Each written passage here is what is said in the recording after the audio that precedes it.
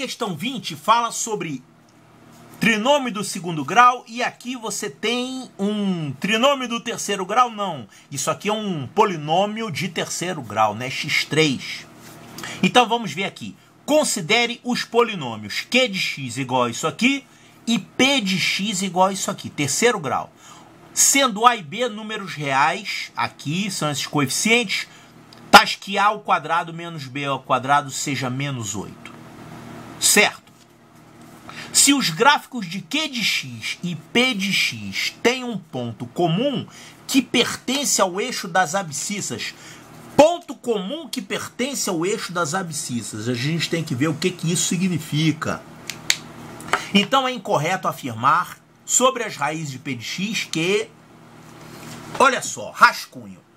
Como é que é o gráfico de uma função do segundo grau? Um polinômio do segundo grau ou trinômio do segundo grau? é alguma coisa assim, é uma parábola, né? Formato de uma parábola.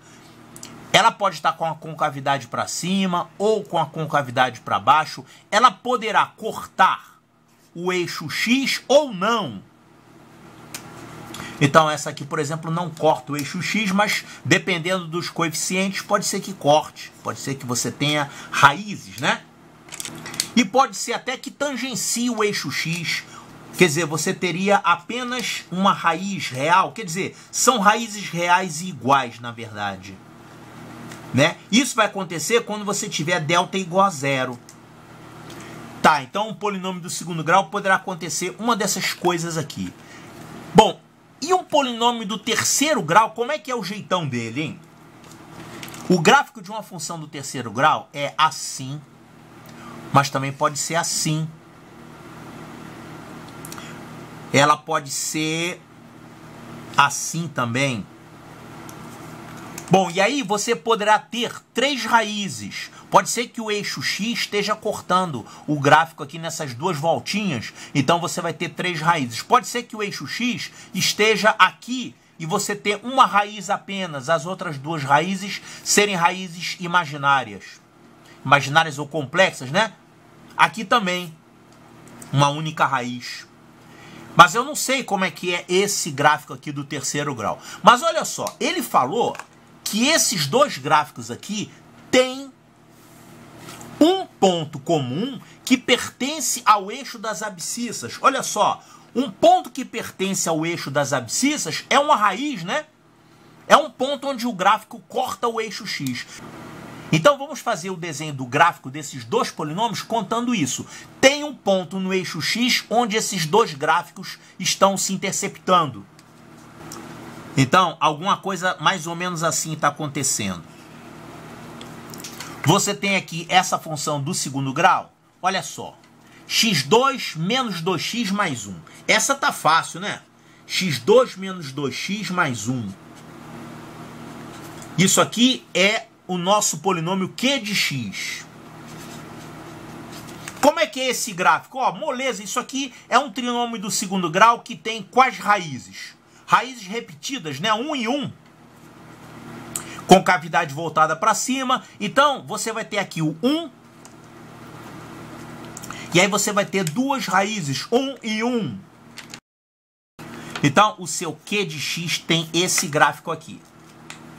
Agora, o P de X que é um pouco mais difícil da gente visualizar como é que vai ser, né? Olha só, a interseção entre eles é um ponto do eixo X. Quer dizer que o gráfico passa por aqui. Ele passa por aqui fazendo isso, ó. Assim. Ou então pode fazer assim. Na verdade a gente não sabe, né? Olha só. Eles têm um ponto comum que pertence ao eixo das abscissas. Então pode ser alguma coisa mais ou menos assim, ó.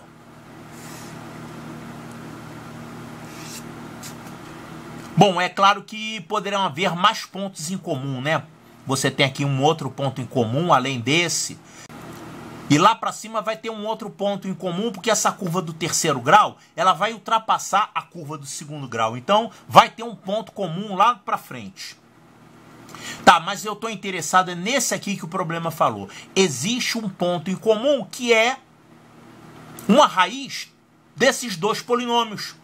E essa raiz aqui tá fácil de descobrir, ó. São as raízes de Q de x.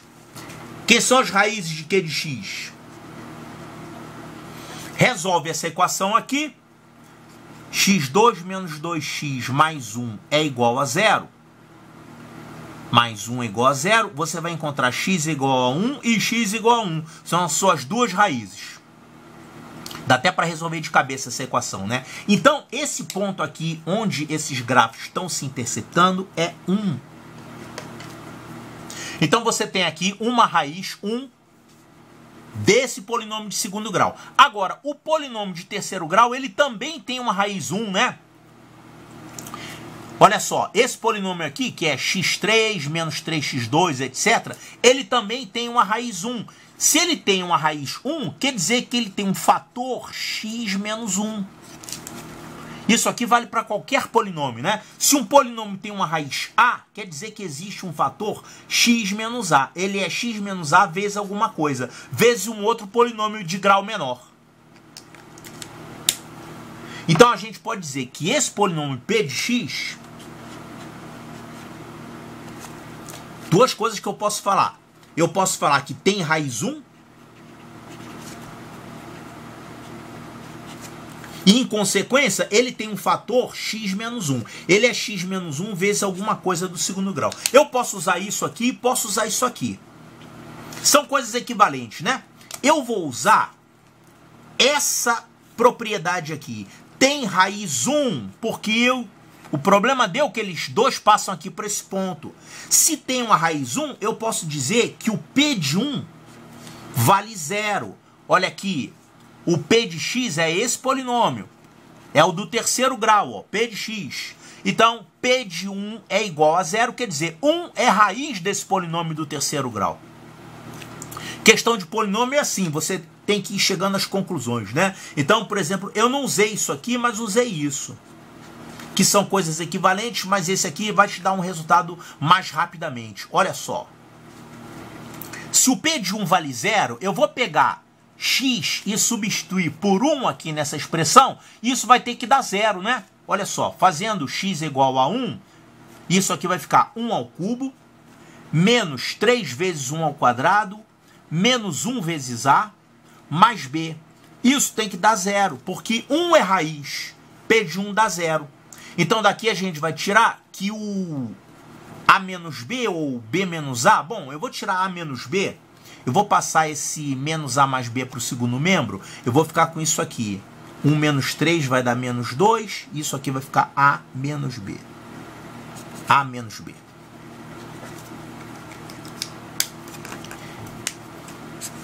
Então, A menos B vale menos 2. Para que, que isso aqui vai me ajudar? É porque a gente tem essa outra informação aqui, se lembra? Ele deu que A2 menos B2 é igual a menos 8. A2 menos B2 é igual a menos 8. O enunciado deu isso. Só que A2 menos B2 é a mesma coisa que A mais B, que multiplica A menos B, fazendo fatoração, né? Então, A mais B multiplicado por A menos B, isso vai dar menos 8. Como ele deu aqui que o A menos B dá menos 2, isso aqui vale menos 2, então, eu posso descobrir quanto é que vale o A mais B. O A mais B vale menos 8 dividido por menos 2. Menos 8 dividido por menos 2, que vai dar 4. Olha só, que beleza!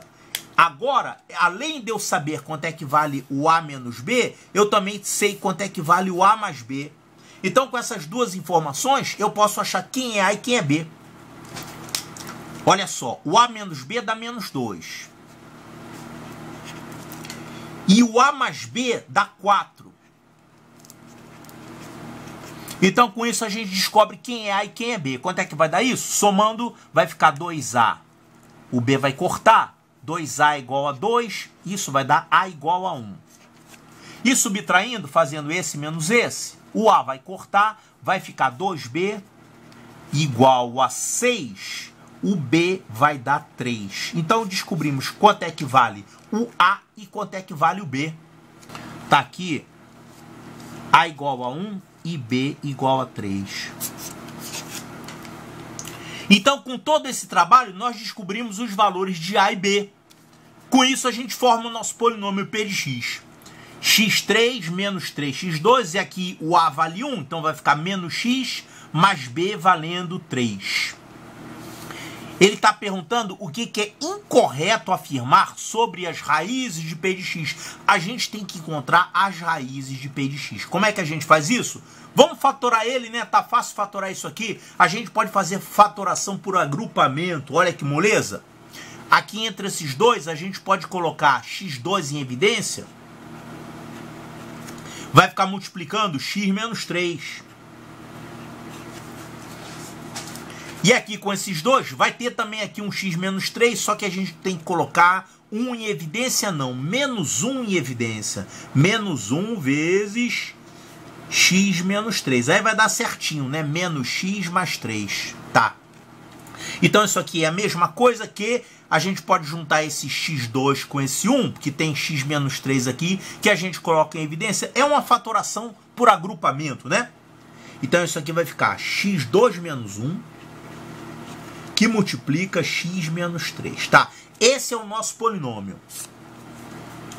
E quando é que ele vale zero? Quando é que x2 menos 1, que multiplica x menos 3, vai valer zero? É quando esse fator for zero, ou então quando esse fator aqui for zero. Ou seja, o x vai ser 3, ou então é, x ao quadrado menos 1 valendo zero.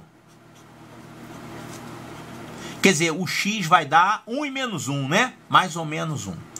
Mais ou menos 1. Sendo assim, as raízes desse polinômio p de x são menos 1, 1 e 3. Menos 1, 1 e 3. Essas são as raízes de p de x. Então, sabendo as raízes, vamos responder o que, que ele fala aqui. É incorreto afirmar sobre essas raízes que podem formar uma progressão aritmética. Isso aqui pode formar uma progressão aritmética? Sim. A diferença desse para cá, esse menos esse, dá 2. E aqui também, a diferença desse menos esse, dá 2 também, né? Então, se você colocar eles nessa ordem, na ordem crescente, você vai ter uma progressão aritmética de razão 2. Também você pode escrever eles ao contrário, né? 3, 1 e menos 1 seria uma progressão aritmética de razão menos 12. Então, podem formar uma progressão aritmética? Sim, isso é verdade. Letra B, são todos números naturais? Não, apenas 1 e 3 são números naturais. Menos 1 não é um número natural, né? É um número inteiro, mas não é um número natural. Então, isso aqui é falso. Já achei a falsa, hein? Tem que encontrar qual é a incorreta. É essa aqui, ó, letra B.